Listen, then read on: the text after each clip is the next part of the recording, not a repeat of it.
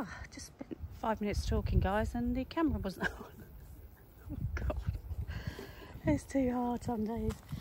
Uh, okay, so I was just saying I, there's a couple of onions I'm going to harvest today and put in the shed with the others to dry.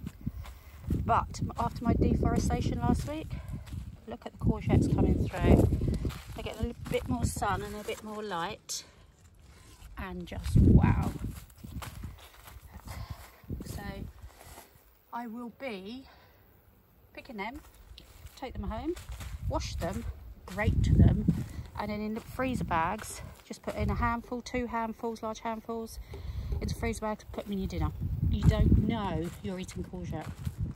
I like courgette, but I mean, if you wanted just get more veg in the children or, or people that need it, Pete made a uh, shepherd's pie two nights ago. We put in two handful handfuls of courgette.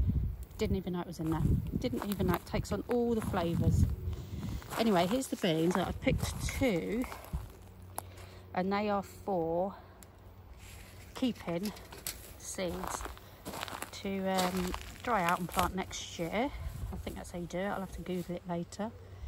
I was saying this side of the frame, so here's the sun, sort of up there somewhere, obviously. Where else would it be? Um, this side of the frame has done better than that side of the frame. But although we're seeing some really big ones like that, I'm going to harvest that one later. To have to Google how to freeze them. Um, there's another couple I've seen that I will harvest to eat. There's a couple on there to eat. Or like I say, to freeze, we'll see.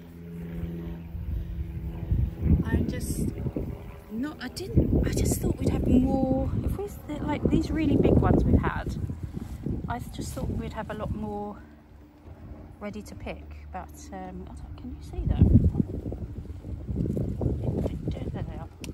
See? They're only tiny. They're still only tiny. I'm not sure, is that normal? Uh, but yeah.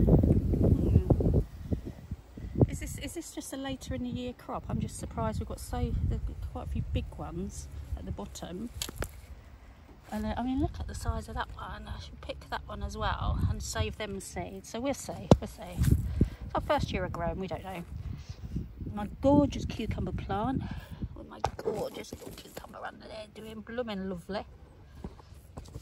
This needs a bit of weeding today, I'll do that as well. Uh, so I hope we get a few cucumbers out there. Flowers doing beautiful as usual. Each I do love a flower or two. Although they're being slugged. Oh yeah, look. Oh, who are you? Having a munch. Little caterpillar. Get off. I'm going to sage. Got a great big sage plant next to me. You can sit there. Oh look, they're all there. I suppose it's better them eating them than the veg, is that right? Stop eating my food. Um, and then here's the bed finished. So it's six bags of 40 litres. Uh, I reckon another two or three bags. And I've put some fish no chicken pellets on it. Chicken manure pellets yeah that.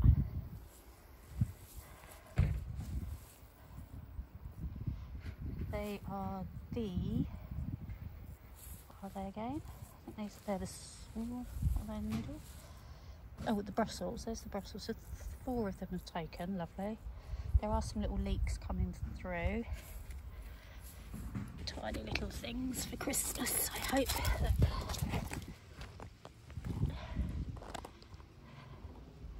There's my leeks.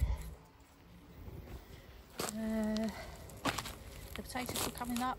See the potatoes, there's four planted there. Maris Pipers. So I've earthed them back up and these are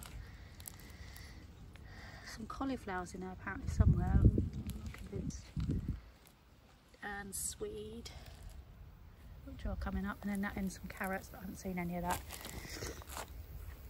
So that's that for the minute. Uh, so lots more watering to do and some weeding to do.